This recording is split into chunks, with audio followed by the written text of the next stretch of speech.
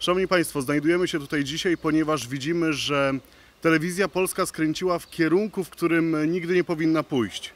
Jesteśmy dziś w punkcie, który byłby krytyczny dla każdego demokratycznego państwa. Znajdujemy się dziś pod siedzibą mediów, które ciężko w ogóle nazwać publicznymi.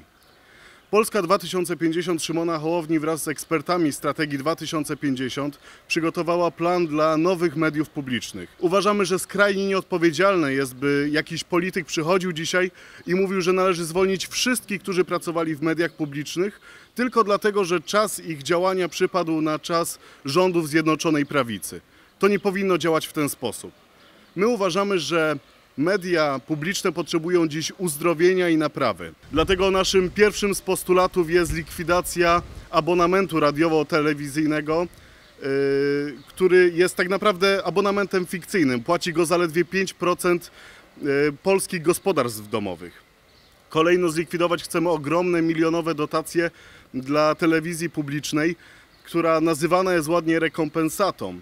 My jako Polska 2050 Szymona Hołowni uważamy, że media publiczne powinny być finansowane ze specjalnego funduszu medialnego, który składać się będzie z e, odpisu gigantów medialnych. Kolejno uważamy, że należałoby zlikwidować e, Radę Mediów Narodowych, ponieważ jest to organ, który dziś nie sprawuje swojej funkcji, o której został powołany. Jest to organ, którego zadaniem dziś, głównym zadaniem jest trzymanie na smyczy mediów publicznych y, jakichkolwiek mediów. Dlatego likwidacja tego organu pozwoliłaby, by w końcu mówić o wolnych mediach, by ten, ta fraza przestała być fikcją. Kolejno dla Polski 2050 Szymona Hołowni niezwykle ważne e, są wszelkie redakcje lokalne. Chcemy umożliwić lokalnym dziennikarzom, lokalnym redaktorom działanie na rzecz lokalnej społeczności. Żeby to było możliwe, konieczne jest, by odciąć lokalne redakcje od Warszawy, odciąć od, od polityki. Kolejno chcielibyśmy, by wszystkie konkursy na stanowiska publiczne były otwarte i jak sama nazwa wskazuje, były publiczne. Nie możemy godzić się dalej, by szef mediów narodowych był politykiem czy oficerem politycznym. Nie możemy godzić się na to, by szef mediów narodowych sprawował funkcję ministra propagandy. Czas, by w końcu przywrócić znowu rzetelność mediom. Czas, by ludzie mogli znów mediom zaufać. I jest to, drodzy Państwo, możliwe.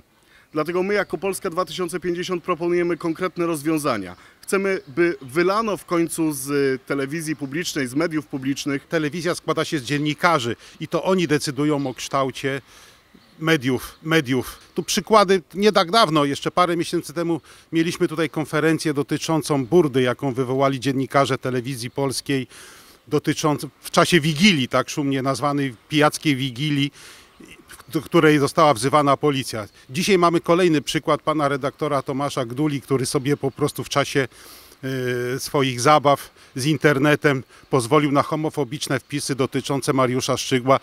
Co prawda jest zawieszony i ma się zająć nim tak zwana komisja etyki. Podejrzewamy, że ona się nim nie zajmie i pan redaktor po jakimś czasie zostanie przywołany, przy, przywrócony do obowiązków i będzie zaszczytną misję pełnił po prostu redaktora partyjnego. Według mnie te zwolnienia będą, znaczy to nawet nie chodzi o zwolnienia, tylko tak naprawdę trzeba pozbawić polską przestrzeń medialną ludzi, którzy nie są w ogóle pełnią misję służalczą, tak? Będą służyć każdemu, który dobrze zapłaci, i takich ludzi trzeba się w pierwszej kolejności pozbyć.